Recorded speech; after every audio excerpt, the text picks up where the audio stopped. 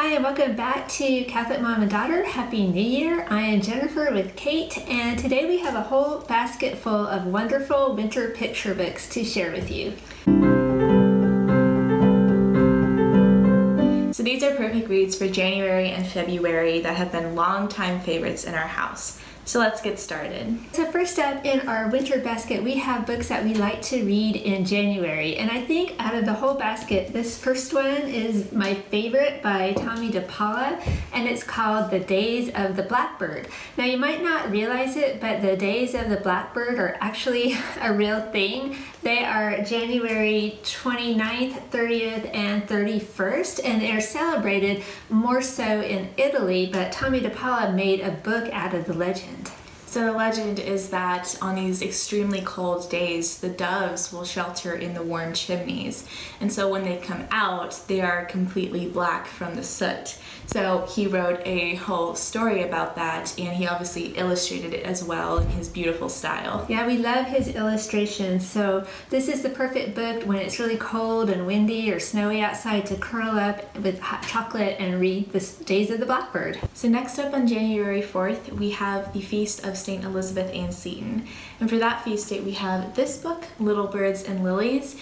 This is not a picture book, it is a short chapter book, but it is a great read aloud and has beautiful pen and ink illustrations. And the author, Mary Louise Callahan, is a native of Emmitsburg, Maryland. So she grew up in Mother Seton territory and knew all kinds of information about Mother Seton. She worked for the FBI at one point during her life. And then later on, she became one of the champions for the cause of canonization for Mother Seton, which finally happened in 1975. And that's when Elizabeth Ann Seton became the first native born American saint. Next, on January 10th, we have The Man God Kept Surprising. So this is about St. William of Bourges. He just wanted to be a monk, really, but God had other jobs for him to do during his life, and so he kept getting all these little surprises throughout his life. But his whole story is a study of humility and obedience. So if this is sounding familiar, the obedience issue at your house, this is a great book to read, especially at the beginning of a new school year, the importance of being humble and being obedient. So January 18th is Martin Luther King Day, and for that we have this book, My Brother Martin. This book is told from the point of view of Martin Luther King Jr.'s sister. So I think out of all the Martin Luther King Jr. books out there, this is my favorite. It has absolutely wonderful illustrations of life in the Martin Luther King Jr. household as he was growing up. it's a very gentle introduction to the whole issue of civil rights and racial tension. It's a great place to start and then move on to a broader or more in-depth conversation, especially with younger kids. So I have this on my do not miss list. So it's also fun to have a book of winter poems. So for that we have this one, which is called Winter Poems. It um, but it's a really great book. It is has a selection of different poems in it from Shakespeare, Ogden Nash, and a bunch of other poets. Yeah, Elizabeth Coatsworth is in here. So this is a book that any adult would enjoy reading. Enjoy it as a read aloud or just enjoy reading it on your own. And it has the absolute perfect cozy winter illustrations in it as well. Alright, so moving on to February 1st, we have this book, Brigid's Cloak, about St. Brigid, and we actually talked about this book in one of our Christmas picture book basket videos, so we'll link that one down below. And this one does double duty. It's great at Christmas and it's great at the start of February. Um, so it's a really neat story. February 2nd is Groundhog Day, and I admit I do have a weakness for groundhog books. so one of my favorites is this one by Don Freeman. It's called Gregory's Shadow. Don Freeman wrote the Corduroy book, so it has all of his great illustrations in it. And then Groundhog Gets a Say is a fun book. It's about this sassy groundhog who's going out and busting all the different groundhog myths. So it's a super fun way to actually learn a lot. Yeah, the groundhog and the squirrel and his friends in here, they have a little bit of sass. um, they're not going to take all these misconceptions lying down. So it does have a super ton of information about the groundhog in it, and it's a fun one to read. All right, next up on February 10th is the Feast of Saint Scholastica. Now, a lot of people know her famous twin brother, Saint Benedict, but even though they're twins, they don't share the same feast day. So St. Scholastica's is in February. This book has many great stories about St. Benedict in it, and it also highlights the great love and friendship between the twin siblings. And at the back, there is a summary of the wonderful rule of St. Benedict. And of course, it's illustrated by our favorite, Tomie dePaola.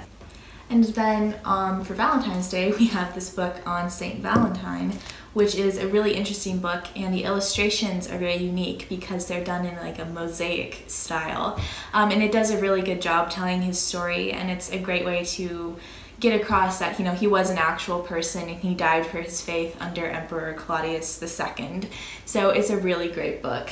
So if you want a book that explains the symbolism and the traditions behind Valentine's Day. We have this one, Hearts, Cupids, and Red Roses, which goes into explaining how Valentine's Day became the holiday that we have today.